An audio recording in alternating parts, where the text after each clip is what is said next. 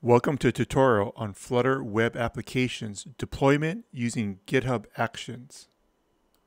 Our application currently has a single branch main. We're going to make a new branch called gh-pages.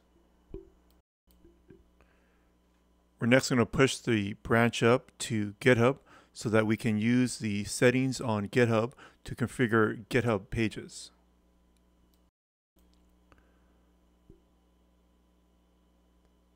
Next, we check out our main branch again because we're going to do most of our work on the main branch.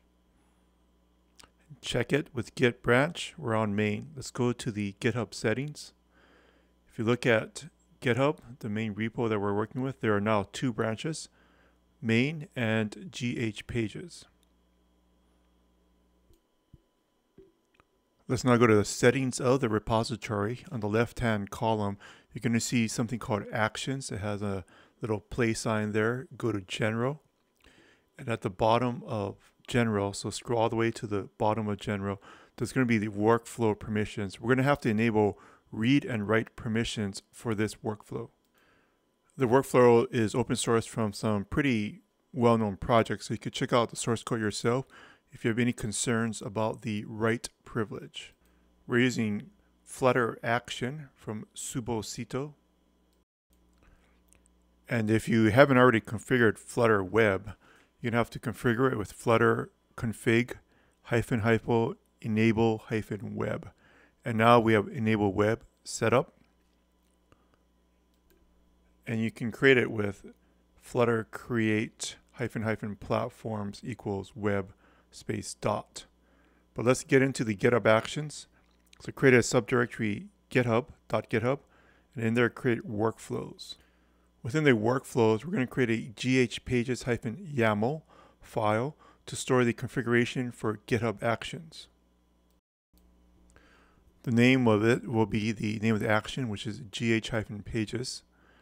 And we're going to set it up so that every time we push to the main branch, uh, if you don't want to push it all the time to the main, what you can do is set up a branch and then merge it back into main when you want to rebuild the web application portion.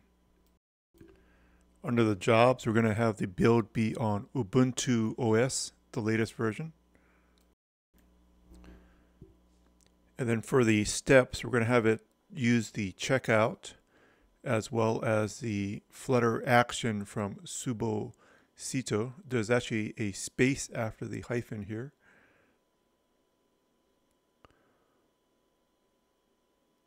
So put the space in, it uses and the next step here, which is the Subosito Flutter hyphen action. And the version.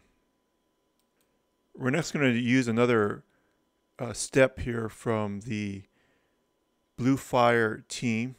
Uh, they actually are the makers of the Flame game system for Flutter, and I've been using it with the game system, and so I like this this step here because uh, I'm familiar with it. So we'll use the Flutter-gh-pages from the Bluefire team to get it onto GitHub Pages, and they have to specify with with the base ref is the name of the repository. So this is the, the one that you created. So the, the name of my repo is dot underscore guide underscore pano. And the web renderer, I'm going to set to Canvas Kit. There's different web renderers and you could want to change it potentially to HTML, but I'm going to use Canvas Kit in this demonstration. Now I'm going to do the commit and push it up to main. When I push it up to main, the GitHub action should kick in. And unfortunately, this time it did get a fail here. Looking at the logs of GitHub actions, I had to allow the secret. It's actually a false positive from the built-in rule set check of GitHub actions. If you just look at the log, there's a link, and if you just click on the link, it'll show you how to add that uh, false or deal with the false positive if you have the same error that I did it incorrectly interpreted uh, SKI and SKIA to a uh, secret key. So if you didn't add a secret key in to your application, uh, you're good to go. Once the Flutter web application launches, the responsiveness is quite good. Even with the, just the Canvas Kit, this is not using WebAssembly. Uh, the thumbnails, the scrolling, all, they all work great. Movement of the 360 image is fine. Going back to the thumbnail screen is also very fast. The initial load of this demonstration does take a bit of time, so it's not that great for production. However, for a test, it is fantastic. Hope you're having a great time building mobile applications with 360 images.